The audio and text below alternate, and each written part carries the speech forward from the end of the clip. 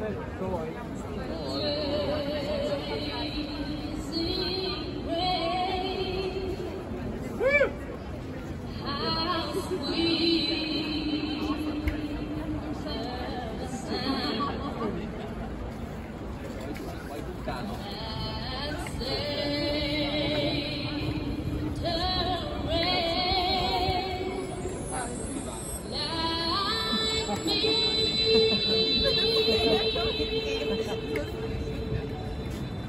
Tényleg, ha már itt vagyok, én is csinálom. Ha már itt vagyok, két hete.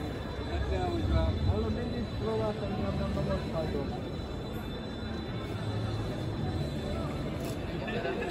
Van, van,